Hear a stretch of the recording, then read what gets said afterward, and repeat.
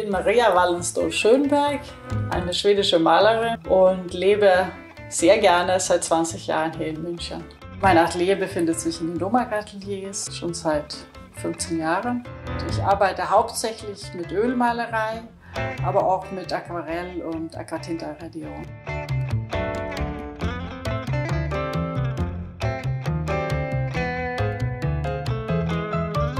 Es geht um Farbklang, wie Musik. Es füllt den Raum.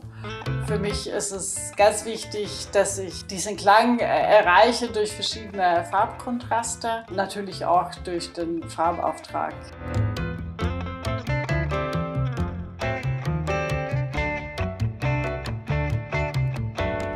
Ich arbeite gerne mit Palettenmesser. Das hatte ich eigentlich schon seit, äh, ich glaube, Ende der 90er habe ich das angefangen und äh, habe dadurch so eine gewisse Technik gearbeitet, indem ich Pastos äh, in die nasse Farbe hineinarbeiten kann. Und so schwingen die untere Farbschichten gut mit nach vorne und ich kann das äh, gut steuern.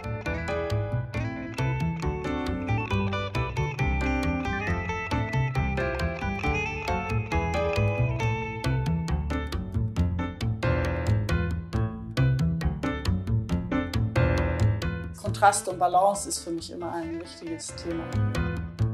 Es bleiben von den unteren Farbschichten an den Rändern gerne etwas Farbe stehen. Die Ränder wurden zum Teil mehr und mehr ausgeprägt. Auch in den Aquarellen sind die Ränder ja auch relativ wichtig und da sieht man auch den Arbeitsprozess.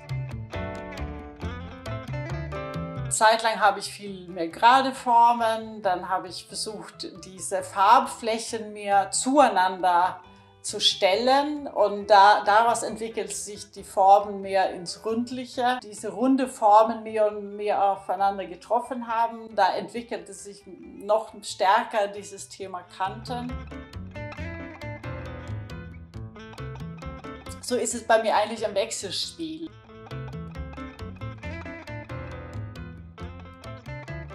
wie stelle ich diese Form her, das Verhältnis zu dem anderen und dann entwickelt sich das. Es kann auch sein, dass ich wieder zurückgehe zu etwas, was ich vor ein paar Jahren gemacht habe und nehme etwas mit auf dem Weg und dann wird das neu, neu kombiniert. Manchmal mache ich Skizzen auf so kleine Pappen, auch so als Ölskizzen.